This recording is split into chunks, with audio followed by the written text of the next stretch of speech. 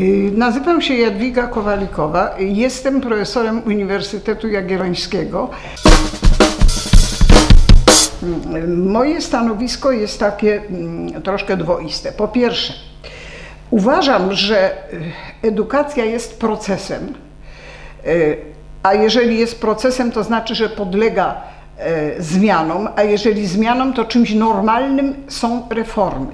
Z tym, że osobiście byłabym zwolennikiem reformy nieustającej, to znaczy reagowania poprzez dydaktyków i uniwersyteckich, wszystkim nauczycieli na y, zmieniające się warunki, na przykład na różne takie zewnętrzne stymulatory, które mm, wymagają na przykład no, troszkę innego podejścia, zmienia się mentalność przecież ucznia, już nie będę mówić, bo to nie chciałabym iść w banały o, o, o roli mediów elektronicznych.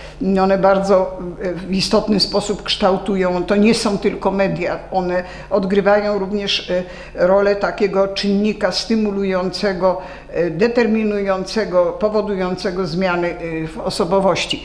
Czyli z jednej strony reforma jest czymś koniecznym, powinna być czymś naturalnym, powinna być reakcją na potrzeby, przecież edukacja jest dla życia, prawda, nie dla edukacji, dla życia, dla człowieka żeby on sobie lepiej radził, czy dobrze radził z tymi wszystkimi powinnościami, jakie, kiedy stanie się uczeń człowiekiem dorosłym, kiedy po prostu, z którymi się będzie musiał zmierzyć. Mniej mi się natomiast podoba dekretowanie reformy. Zwłaszcza jeśli miałabym coś powiedzieć o, o polskich reformach, a w końcu wiele ich już przeżyłam, wielu uczestniczyłam z przekonania, z konieczności, jako bardzo, bardzo długoletni szef Katedry Polonistycznej Edukacji Nauczycielskiej na Uniwersytecie Jagiellońskim, no po prostu katedry, która odpowiada za, odpowiadała i odpowiada nadal za y, ostatni szlif nauczycielski. Otóż muszę powiedzieć, że słabością wszystkich naszych reform było to, że y, ich y, trudno powiedzieć y, współtwórcy, na pewno realizatorzy, a, a z całą pewnością decydenci, y, mianowicie ci, którzy decydowali o wprowadzeniu i decydowali o zamknięciu, że nie pozwolili na, popełnili błąd metodologiczny. Po prostu reforma, żeby można ocenić jej skuteczność, to powinna być od przedszkola do matury. Nam się to nie zdarzyło. My przerywaliśmy cykl. W związku z tym na przykład nie, nie mogliśmy pewnych zjawisk uchwycić i, i zweryfikować na przykład planów. Ja dam przykład, bo on jest spektakularny z gimnazjami. E, kiedy y, pan minister Handke wprowadzał te reformy, ja chodziłam na wszystkie możliwe spotkania, nie tylko takie, które, w których uczestniczyliśmy my, nauczyciele akademiccy czy dydaktycy, ale także na spotkania z samorządowcami. Mnie się to bardzo nie podobało. Nie podobało mi się dlatego, że y, z góry uważałam, że jeżeli liceum będzie trzyletnią szkołą, to de facto będzie dwuletnią szkołą. Dlatego, że przecież jest matura, y, która, która przecież nie jest w czerwcu, prawda? Poza tym jest okres, kiedy trzeba, y, trzeba mm, y, no, troszeczkę przygotować się bezpośrednio już, więc są syntezy, mm, są takie sprawdziany wewnętrzne, wiadomo jak to się dzieje. Bardzo mi się to nie podobało proponowałam, żeby jeżeli mamy mieć trzy stopnie, bo argumentacje wtedy były takie, że chodzi o to, żeby dzieci oddzielić od młodzieży, bo młodzież jest zagrożona, bo dealerzy, bo to nic nie przeszkadza i, i jak jest to, to wiemy, jak sobie radzili. Y, proponowałam, żeby to było 4, 4, 4, jeżeli musi tak być, ponieważ jest bardzo wyraźna akceleracja w rozwoju umysłowym i biologicznym uczniów, społecznym niekoniecznie, ale ale biologicznym, mamy, no, szkoła nie jest dzisiaj jedynym centrum dyspozycyjnym, który dysponuje wiedzą. My mamy bardzo wiele e, konkurujących skutecznie ze szkołą, znowu powiem o mediach, e, ośrodków, które można by wykorzystać e, jakby upotrzebnić. Tak sobie zresztą myślę, że, że rola szkoły się zmieniła. Szkoła powinna podjąć, to nie jest łatwe zadanie, ale trudne, powinna je podjąć, powinna stać się takim jakby koordynatorem różnych impulsów, różnych inspiracji edukacyjnych.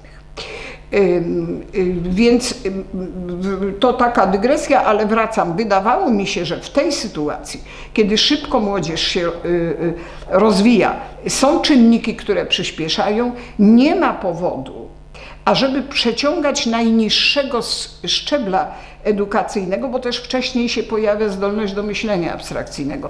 Tylko trzeba by raczej tę cezurę zrobić tak, jeżeli nie możemy dołożyć już roku. Y, pan minister wtedy twierdził, że, że ministerstwu bardzo zależy, żeby w miarę możliwości wyprowadzić poza szkołę y, dorosłe osoby. Y, że docelowo chodziłoby żeby, o to, żeby osiemnastolatek kończył, dostawał świadectwo dojrzałości i tak jak wedle prawa jest dojrzały, żeby, żeby, żeby także opuszczał szkołę. No oczywiście to się tak nie dzieje. Nie stało się tak. Gimnazjum się okazało szkołą straszną. Ja, jak obserwowałam wszystkie zjawiska, no bo przecież studenci chodzili na praktykę, oni się szalenie bali tego, to była trudna szkoła, nie, nie, nie ma w tej chwili czasu, żebyśmy się wdawali w analizę przyczyn. One były natury w dużej mierze psychologicznej, biologicznej. To jest szczególnie trudny okres, wyodrębniono te dzieci oddzielnie, właśnie dzieci nie, doros ni dorosłych, ni dzieci.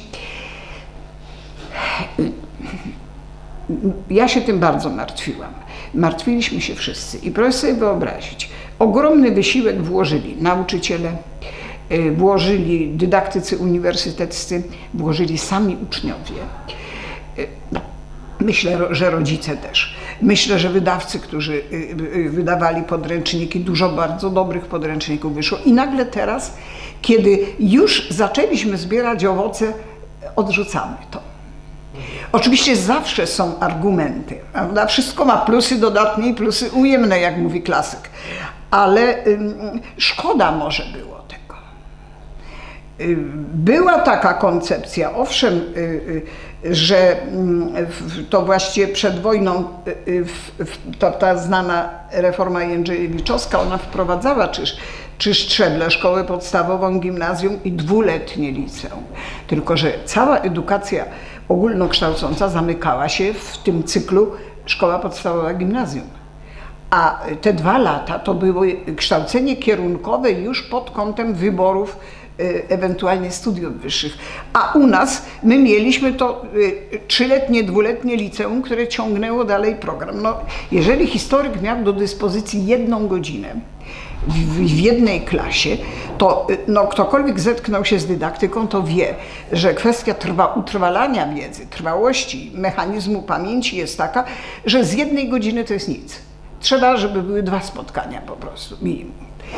Y, to, y, to dlatego tak sobie myślę, że, że reforma, mm, no, są potrzebne, nie ulega wątpliwości. To nie może być tak, że, że zakładamy, y, nasza tradycja dydaktyczna sprawdziła się, wychowano, wychowano tylu znakomitych absolwentów, wobec tego możemy uczyć wciąż. No nie ma czegoś takiego, ponieważ wszystko jest procesem, życie jest procesem, więc jak nie idziemy naprzód, to nie stoimy, mm, nie, nie, jest, nie konserwujemy, tylko się cofamy, regres jest. Także, że cóż mogę powiedzieć o reformie. Natomiast jaka ona będzie, mm, jakie przyniesie rezultaty, y, zobaczymy. Do y, projektantów i do y, projektodawców właściwie reformy miałabym takie zastrzeżenia. Szkoda, że od razu, od początku nie skonsultowano się ze środowiskiem nauczycieli i dydaktyków uniwersyteckich, zakładając, że to są ludzie, którzy nie będą chcieli reformy. A to nieprawda. A to nieprawda, bo nie byłoby różnych takich niepotrzebnych potem sporów o program, ma to być, nie ma to być. No, y, natomiast jeżeli chodzi o y, program do języka, to myślę, że tu jest lepiej, natomiast z tymi wykazami lektur. No, y, jak gdyby autorzy programu zapomnieli, że Y, dzisiejsi wnukowie, nawet dzisiejsi synowie i córki, to to są inne, y, inni uczniowie i nikt nie zmusi dzisiejszych uczniów, żeby czytali Janka Muzykanta i żeby się wzruszali. Podobnie jak y, nad, nad Anielką nie można tego przewracać. Ja nawet, ja rozumiem, że, że mm, nowela Sienkiewicza Latarnik ma bardzo duże wartości, ale czy to przemówi do dzisiejszego ucznia? Ja kiedyś byłam na spotkaniu takim mm, poświęconym literaturze dziecięcej.